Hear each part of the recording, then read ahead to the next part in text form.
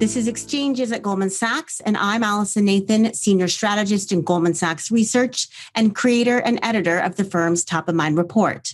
In this episode, we're focusing on the recent regulatory tightening cycle in China and President Xi Jinping's new common prosperity agenda to promote more sustainable and equitable growth. We touched on this topic in a recent episode, but the situation has continued to evolve with regulations targeting specific sectors now wiping out more than a trillion and a half dollars of market cap from Chinese equities since their recent peak in mid February. Here we focus on what these ongoing regulatory and policy shifts, as well as potential future actions, might mean for the Chinese economy, its markets, and beyond. We first turned to a number of China watchers to better understand the motivations behind the government's actions and whether they mark a meaningful shift in the relationship between the government and the private sector in China. Fred Hu, founder, chairman, and CEO of Primavera Capital, and David Li, who is an economics professor at Tsinghua University, see the latest wave of regulations as largely consistent with the government's goal of achieving sustainable and socially responsible growth. And they argue that the government is targeting certain behaviors and industry practices, especially in the tech sector, that work against these goals rather than the private sector itself. And that this is not unlike actions that Europe, the US, and other major economies are taking to address the disruptive effects of digital innovation. Here's Li if you put the current regulatory changes into a larger context than just the previous five, three, two years, then you will see a big picture, a clear big picture. That is President Xi Jinping, since uh, coming to power in 2012, has been saying that China will seek quality growth rather than rapid growth. By quality growth, he actually meant three things. Number one, he wants economic growth to be based on innovation rather than consumption of resources and or intensifying investment. Second, he wants growth to be inclusive for the society or equitable for the whole society. And the third, he wants growth to be environmentally sustainable. So these are the three long-term goals: innovation-based, socially equitable, and environmentally sustainable or low carbon growth. That's his consistent policy. And he has been gradually pushing for these policies and the recent changes, including the changes in regulating internet platforms and investment in the education sector, are actually reflections of this trend. It's not a surprise if you put into a larger context, in short. And here's Fred Hu on the motivations behind the tech sector tightening in particular. I understand why China has stepped up efforts to regulate the tech sector. And it shouldn't be entirely surprising to the market either. China has one of the world's largest and most successful tech sectors. And indeed, you know, people often compare China's tech industry to that in the US in terms of size and scale and reach. So unquestionably, the tech sector, especially the rise of the uh, so-called platform companies or the big tech, has had tremendous impact on the economy, society, and the daily lives of, you know, in China, hundreds of millions of ordinary citizens. I would say most of the impact is positive, you know, strong boost to business efficiency, productivity, and offering consumers connectivity, convenience, choices, value, and unprecedented access to information as well as to products and services anywhere and anytime. So the tech sector has played a massively beneficial, in fact, you know, indispensable role throughout the pandemic and has proven to be crucial in maintaining a degree of normalcy of ordinary citizens' daily life and make the economy more resilient. Nevertheless, the ubiquity and the growing role of tech companies has clearly also caused a variety of uh, concerns in China as elsewhere. The three most common concerns are big tech's possible abuse of market power, data security, and consumer privacy. So the European Union has been by far the most proactive in scrutinizing the tech sector and has taken on quite aggressively big tech's market power and violations of privacy. China and the US, by contrast, has been relatively hands off. That is, until recently, in the case of China, you know, when Beijing has started to impose sweeping and tight regulations across the board, and the Biden administration are stepping up efforts as well. So, if viewed from global lenses, China's regulatory intentions and goals are strikingly similar. The only difference, but the glaring one, is that China has taken a far stronger and some might argue a more heavy handed approach to regulation and enforcement. But George Magnus, associate at the China Center at Oxford University, and Jude Blanchette, who is a China scholar at the Center for Strategic and International Studies, see these regulatory actions as mostly motivated by the government's desire for power and control and as an extension of a pattern of the Chinese state reasserting its dominance over the private sector since President Xi came to power in 2012 and they suspect strong political motivations behind these shifts in the run up to the 20th National Party Congress of the Chinese Communist Party in the fall of next year, where President Xi is widely expected to break with decades of tradition and stay in power for a third term. Here's Magnus. I don't think this is business as usual. It's true that actually over the last 20, 25 years, China's use of law and of regulation have increased very significantly. And to the point where in you know certainly before Xi Jinping came to power it was quite common for people to say that you know China had really made a kind of significant break with its previous proclivity to have government by diktat and by decree so that there was more certainty for business and so on as a consequence of these developments. The problem is now, under Xi Jinping's era, or in his era, the use of law and regulation also has another purpose, which is basically to try to underscore the buttressing of the power of the Communist Party, which has been Xi Jinping's principal priority, uh, along with an attempt to enlarge the borders of the state, even at the expense of China's private sector, with a strategy basically to produce a new China model. I think this is what Xi Jinping's almost personal agenda is, is to create a new model and also to put the socialism back into the phrase of you know socialism with Chinese characteristics. I mean, a lot of people have kind of taken that as rhetoric, and you know they're not really socialist. You know, it's a capitalist state. But actually, we'll see what happens in the next year or two. But it certainly feels and looks as though this is more statist and you know party controlling initiatives that we're seeing here than we have seen in the last few years. But certainly, it's a discrete break from the China we knew the last twenty or thirty years. What in particular makes you feel like this is more about power and expanding the state?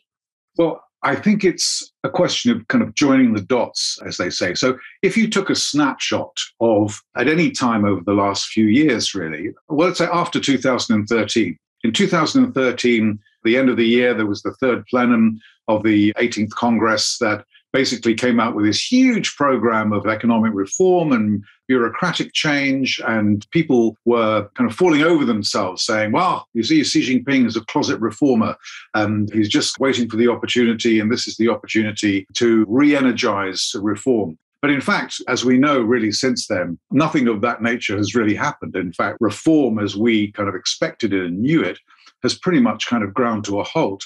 So if you took a snapshot of, let's say, you know, the cancellation of the Ant Financial IPO or of the investigation into Didi after the IPO more recently in New York, or the meeting of the Central Committee for Financial and Economic Affairs, where the phrase common prosperity was elevated by Xi Jinping.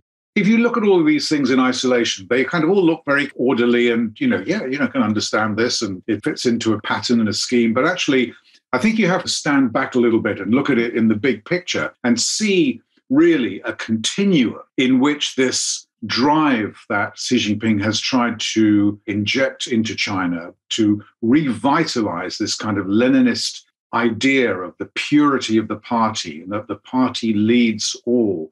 You know, as he said himself, you know, north, south, east, and west. In other words, in all realms of economic and social and political life, the party is in the vanguard of leadership, and people need to get on that train. So the introduction of Xi Jinping thought into primary schools, secondary schools, and universities the exhortation that is now coming out since last year of private sector executives to be, quote, taught, unquote, the significance of government policy and government priorities and that they need to take steps to show that they're following the party line. I mean, there's a big picture here, which is really about the supremacy and the controlling influence of the president within the party.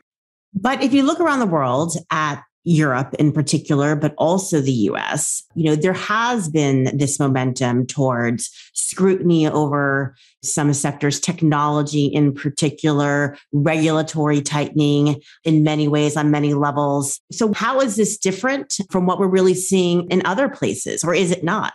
How is it different? I think that we're going through our own so called techlash, right? Which is this backlash against all powerful tech companies and you know we don't know what they're doing with their data and you know how do we exercise control over that. We go through the same kind of motions in a way of trying to figure out how we're going to do this. But what's different about china is that it's highly politicized and it's all about what serves the interest of the ruling party. I think we might argue that Democrats and Republicans in the United States, or you know, conservatives and Labour Party politicians in the UK, also have vested interests, of course, in pursuing regulatory initiatives of different kind. But we do this really in the knowledge that at the end of the day, it is all subject to a legal system in which you do have, supposedly, we believe, neutral contract enforcement, and the government can get its nose bloodied if it kind of steps out of line. You obviously, in China, this does not happen. And here's Jude Blanchette. Why do you think Chinese policymakers have chosen to implement these measures now and with so much urgency? I think there's a proximate reason and an ultimate reason. The proximate reason, which I think gets to the heart of the why right now, is we have just officially entered what we could call 20th Party Congress season. Next year at the 20th Party Congress, sometime in the late fall, Xi Jinping will take a third term as the general secretary. And while that feels like it's a very long time away, planning and action around a party congress usually starts about 12 to 14 months before, which is precisely where we are now. And indeed, the recently announced sixth plenum, which will take place this November, it's worth noting that a plenary session of the Central Committee, especially the sixth one, is usually dedicated in part to actual formal planning of the 20th Party Congress.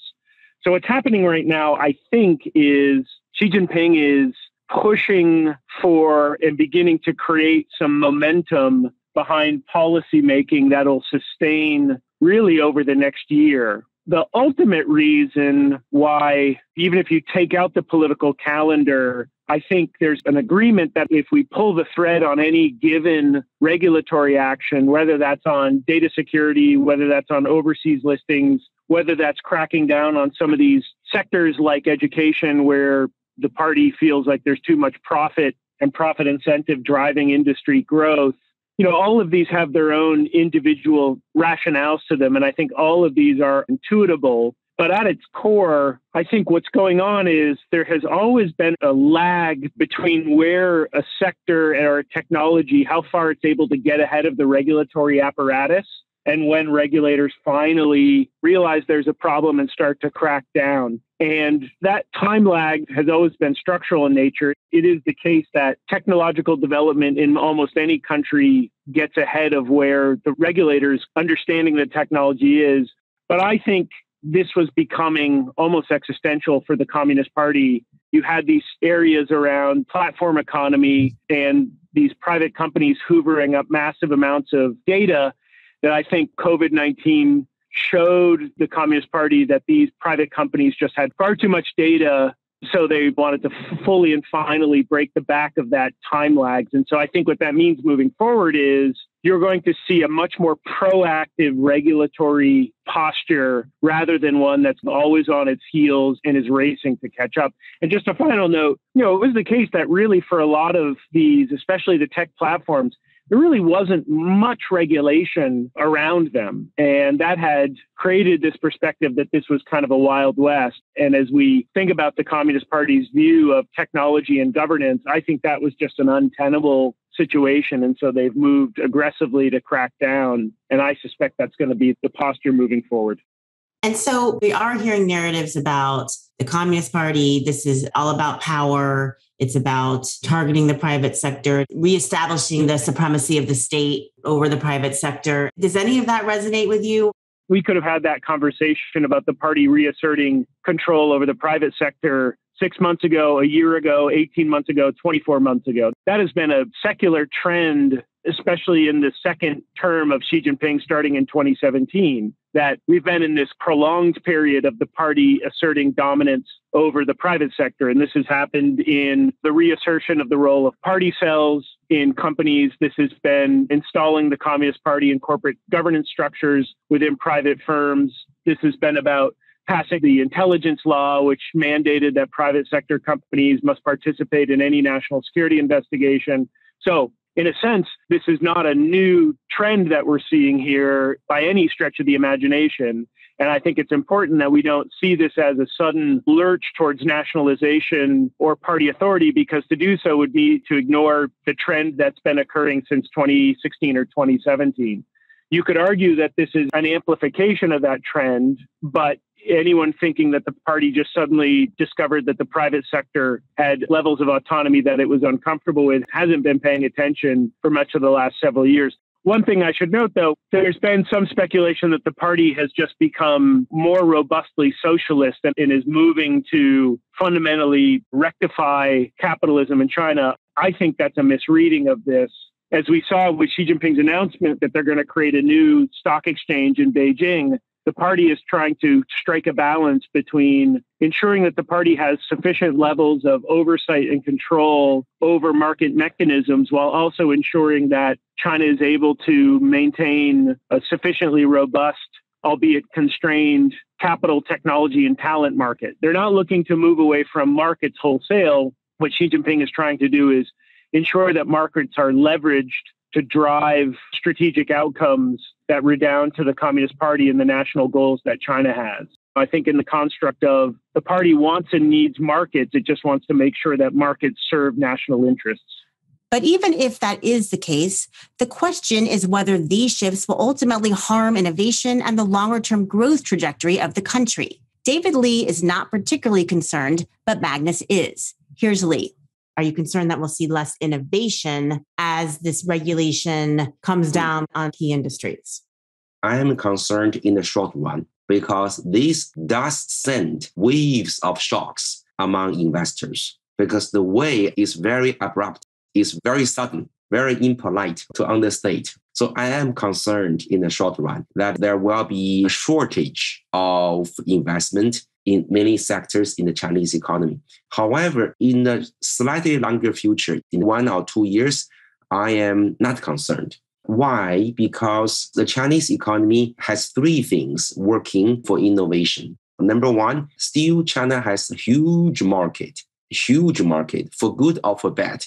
The US policy under President Trump, which to some extent still ongoing in restricting export, high tech export to China actually pushes the Chinese demand for domestic high technology parts, high technology goods. And that's the first thing, big market. Second thing is China still has a huge amount of capital. China's liquidity measured by cash plus bank deposit is two times as large as Chinese GDP.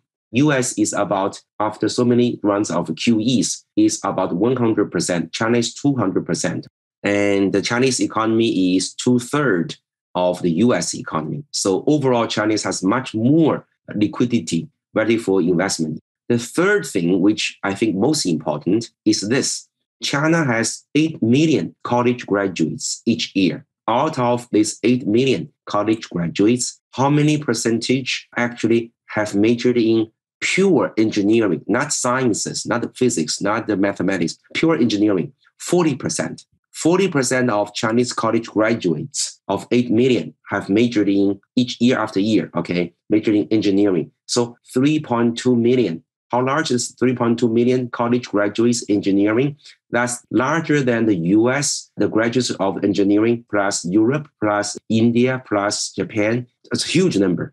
And also coming from Tsinghua University, which traditionally was engineering school, I can vouch that the average quality of Chinese training of engineers in college is very good, maybe too good because they're very practical the Chinese college education is very brutal. You know, they don't teach them Homer, they don't teach them philosophy, they don't teach them literature. From day one, in most colleges, they just teach them engineering. It's too technical. For good or for bad, these kids coming from college can jump into companies, can start designing things. Whereas US engineering graduates are wonderful. They are very well trained, but early on, they have to get more training after graduate. So these are the three things making me still optimistic after a short period of time about the future of Chinese investment in technology. And here's Magnus. You've got a number of different examples where the government or the state is intervening in the operational management of companies, whether it's by threat or by diktat or by punishing the chief executives or by training sessions Party officials in party committees have to be present in any company that's got more than three party members. So all of this adds up to a different sort of modus operandi for private firms from the one in which we've come to grow to expect and see in years gone by. So the question I pose really is what does this do for their innovative capacity? We often kind of conflate invention like science and tech stuff that we can use and we can see with innovation, which is basically a business decision about organization and management and marketing and branding and commercialization and profitability and so on. And if you introduce more and more government regulation and more and more government restriction on what companies are allowed to do, what does that say about the potential for private firms to be in pole position of China as they have been for the last two or three decades? my hunch, you know, really is that this is leading China because of the importance of the politics to the Communist Party in China down an economic path they wouldn't normally or otherwise have chosen to go. So I think it's going to add to the structural economic headwinds that we already know about in China, and it will reduce, I think, China's trend growth. And it'll complicate or delay the realization of the holy grail that everybody's looking for, which is more productivity, because that's how we grow in the future. The big problem, apart from you know debt and demographics, is China's, like many countries, has reached a kind of a productivity hiatus. It needs to basically do a reset which basically requires reform. But actually, that reform isn't really on the agenda. And I think this political intervention, um, regulatory and political intervention, is going to set that back quite significantly. And of course, the key question is whether China is still investable amid all of these regulatory and policy shifts. Again, David Li and Fred Hu are discretionarily optimistic. Here's Li on where he thinks opportunity for investment still lies there are areas which the government under Xi Jinping would guard tightly. There are social and political media areas, culture areas in which the government worries that its authority, its control, its influence will be compromised by external investors. I think outside these areas, all investment will be welcome. In the past few years, look at Jack Ma. He has been venturing into many, many media companies many, many media companies. These people may not know. He's got about 29 provincial level media companies. He's got the South China Morning Post. This kind of investment sends alert to the government. So, in other words, if I were 30 years younger, if I were trying to do business in China, I will concentrate on technology. I would not bother media. I would not bother the mathematics teaching for young kids, trying to let them outcompete their other schoolmates. I will do my own business.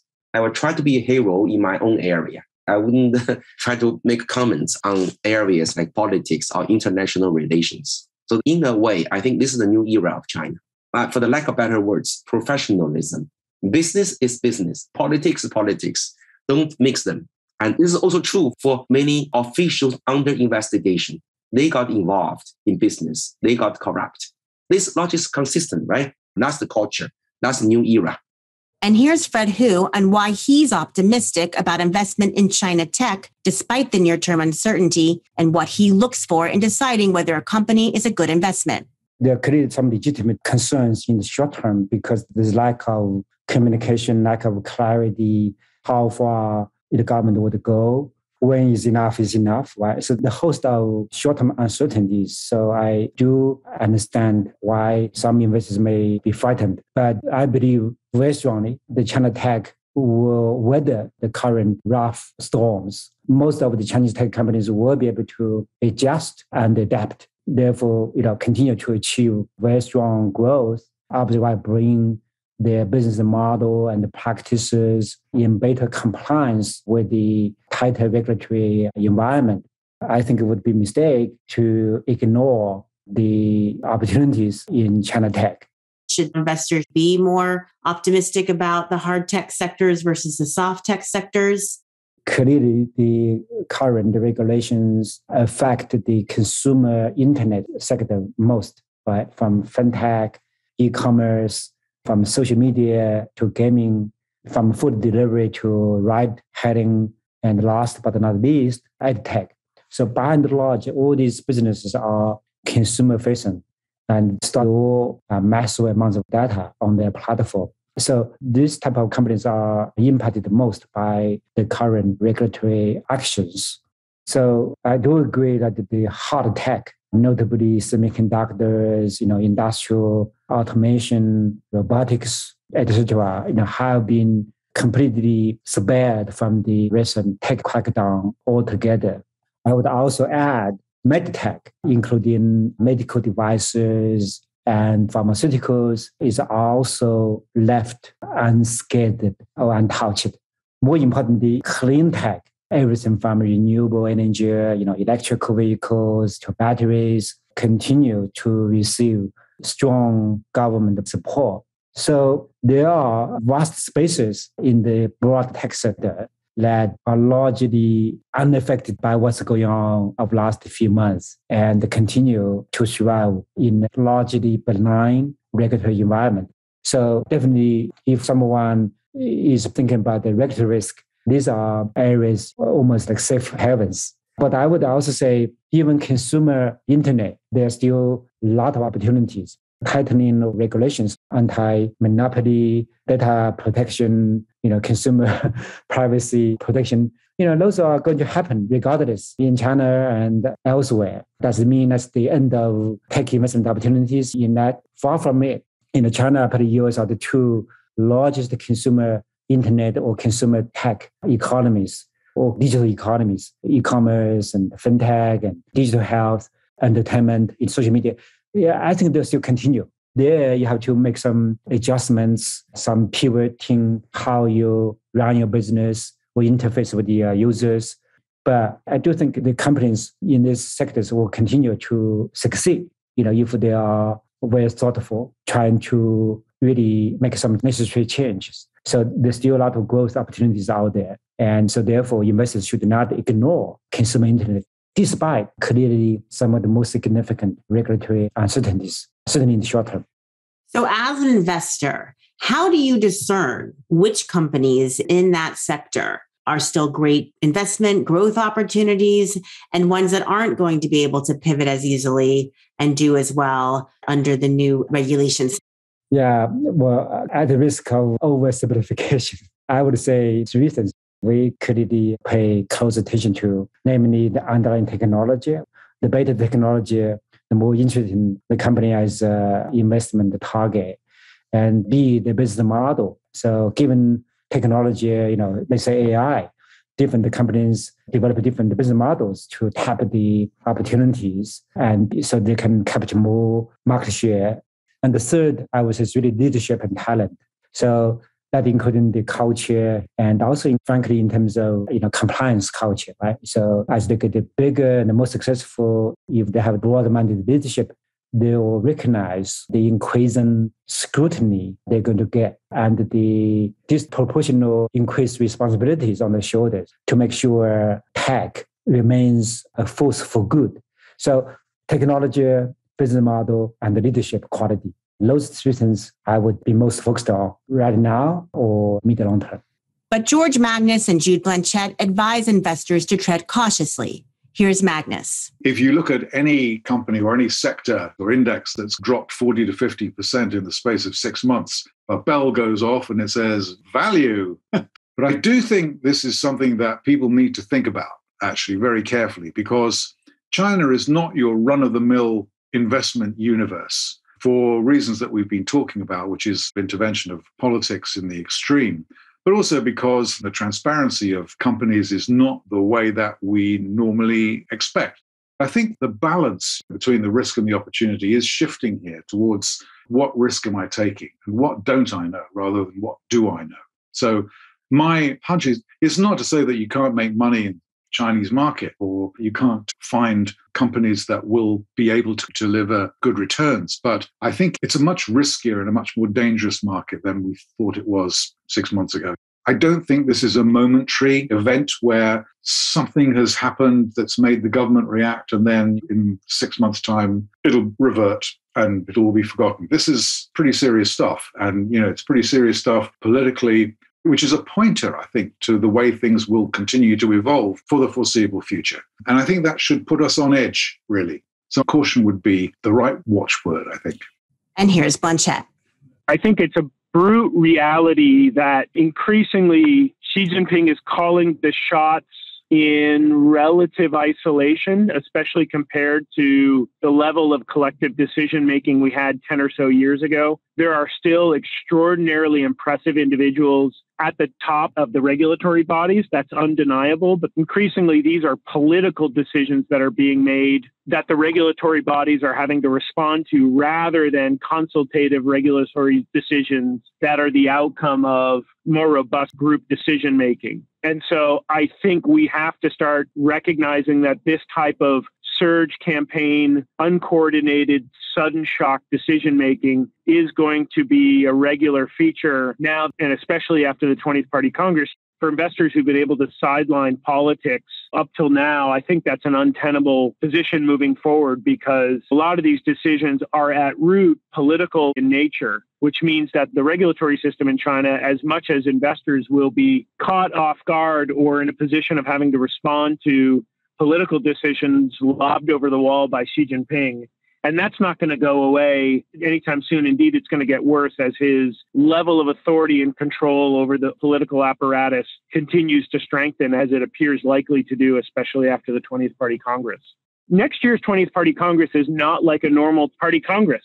One of two things is going to happen. Xi Jinping is either going to take a third term as general secretary, and if that's the case, that's momentous. That is a fundamental break with four decades of thinking within the party about the need to move away from centralized power so that way the party avoids some of the catastrophes of the Mao era. Or otherwise, Xi Jinping won't take a third term as general secretary, which will be equally as important because one year out, we have no idea who a possible successor would be. And so we're all going to be scratching our heads when we see who this is. But my point is, this is not a normal party Congress. Xi Jinping is no longer the type of ruler he was in 2016, where he was still having to establish and solidify his own power base. He is now the dominant, uncontested leader of an increasingly autocratic political system. And expecting that political system is just going to operate like it did 10 years ago I think is an outdated approach here. We're seeing the world's second largest economy with an increasingly sophisticated, complex, at the same time unpredictable sort of economic and regulatory apparatus moving forward under a political system which is becoming increasingly autocratic. And we've not seen anything like this really ever. As the regulatory and policy environment in China continues to evolve, we'll be closely watching the implication for China's economy, its markets, and beyond. I'll leave it there for now. If you enjoyed the show, we hope you subscribe on Apple Podcasts and leave a rating or comment. I'm Allison Nathan. Thanks for listening to Exchanges at Goldman Sachs, and I'll see you next time.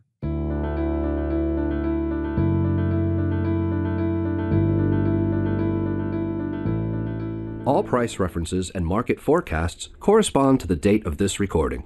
This podcast should not be copied, distributed, published, or reproduced in whole or in part. The information contained in this podcast does not constitute research or a recommendation from any Goldman Sachs entity to the listener. Neither Goldman Sachs nor any of its affiliates makes any representation or warranty as to the accuracy or completeness of the statements or any information contained in this podcast, and any liability therefore, including in respect of direct, indirect, or consequential loss or damage, is expressly disclaimed. The views expressed in this podcast are not necessarily those of Goldman Sachs, and Goldman Sachs is not providing any financial, economic, legal, accounting, or tax advice or recommendations in this podcast. In addition, the receipt of this podcast by any listener is not to be taken as constituting the giving of investment advice by Goldman Sachs to that listener, nor to constitute such person a client of any Goldman Sachs entity.